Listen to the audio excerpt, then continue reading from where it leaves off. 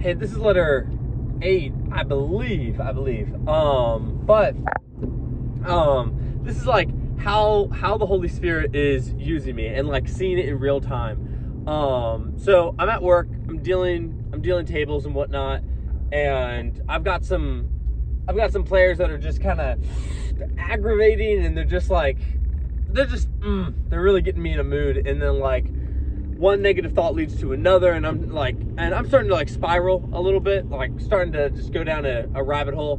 Um starting to like hate people that i really shouldn't hate and i'm like i'm just like starting to doubt and like whatever like but you know how you know how negative mindsets work obviously.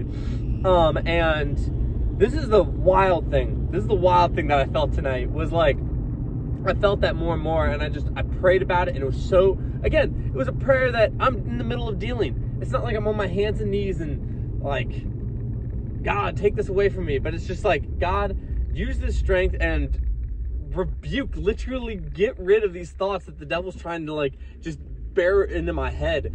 Um, I was like, take them because I don't want them anywhere near me. Um, and this is where I love how the Holy Spirit works because he doesn't work in the way that you think he's going to work, but he still works um, better than what you can think of. So I was just hoping for those negative thoughts to go away. That would have been a win in my book. But instead, um, instead when I went on break, um, I'm sitting next to this friend I have at work, and um, and we're kind of just chatting and whatnot. And I'm I I open up my Bible app because I'm going through Samuel right now. He goes, "Whoa, bro, what you what you what you reading?"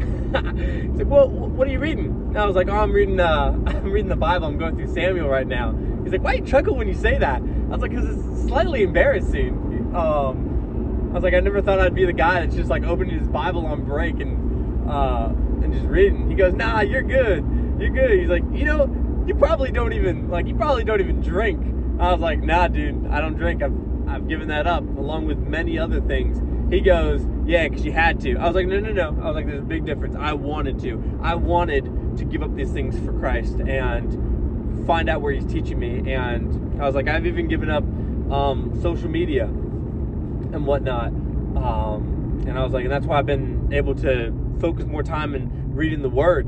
And he goes, yeah, but you still got Snapchat. And I was like, yeah, I still have it. And but I was like, but at the same time, if it's not a distraction right now, but if it becomes a distraction, I'm willing to give that up too. I'm willing to give up anything that God wants me to do. He goes, wow, but dude, that's kind of inspiring. He's like, I've uh, like, and I just love talking, um, to him, and he was like, uh, yeah, dude, I've given up a lot for God. He just he ain't listening. Um, and I was like, but what are you actually giving up? Are you are you giving up what that is? Um, are you giving up something for your kid or are you giving up something for God? He goes, dude, it's just so hard in life. He's like, it feels like every time I'm trying to get above water, it's just like I get cut down and cut down and cut down. Um, and I was like, dude, I was like, as much as as corny as this is, I was like, give it to God. Literally give it to God. And he's like, yeah, but I got peace. And I was like, no, no, no, no, you don't. Like, I hate to like burst your bubble, but I know the kind of peace you're talking about, and it's not peace, it's okayness. That's all that it is. You're just you've come to terms that life sucks and this is the life that you have and you just have to live it. I was like, that's not peace. That's just that's a rut. That's settling. I was like, the peace that I have now, I was like, cause dude, I've like I've gone through I've gone through crap, I've gone through a lot, and it's like, why do you think I'm so happy the way that I am? Is it because of my own just like joy and I'm just like, oh, I'm so glad I'm going through this struggle? No, no, it's because I'm giving this suffering to the Lord along with the wants and the desires I have. Um, he goes, damn, okay, that's that's kind of inspiring. Um, and it was just like super like unapologetic. I was just like sharing sharing the word of God, and it was just like in the most natural conversation ever. It wasn't like trying to shove it down somebody's throat. It was just, it was so good and i don't think i could do that by just my flesh. I don't think i could do that by trying to like coerce somebody into wanting to come to church or do anything. And i and i invited him to church. He goes i don't know man. I'll like i used to be a church goer but that's not my thing anymore. I was like well i'll keep inviting you until you come. And i was like dude it really is life changing um i was like even if i gotta come and pick you guys up because his car is broken right now i was like i'll do it because Um, I was like, it's worth it. Like, it's worth it, and I want to see lives change. I was like, if you want to bring you and your son, I was like, I'll, I'll be there. I'll be there.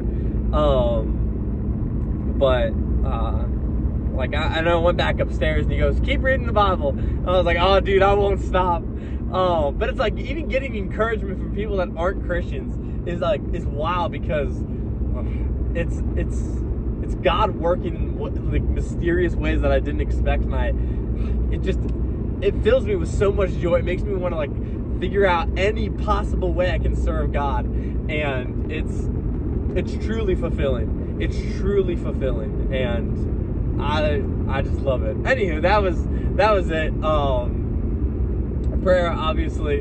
Um, dear God, continue, continue to take my heart, take my mouth, take my um, mindset, and use it for your good. Whether it's in the break room at work, whether it's um, at a Bible study at a friend's house, whether whatever it's on the road and I'm praising you, whatever it is, please use me as a vessel for your will and your and your doing. Um, I'm your servant, and I cannot wait to see what you can do with me um, for for your plan. Um, in Jesus' name, Amen. Um, adios. I'll see you tomorrow. It's like 6 a.m. I just got off of work. I'm tired, obviously, but I'm I'm still kind of like really happy.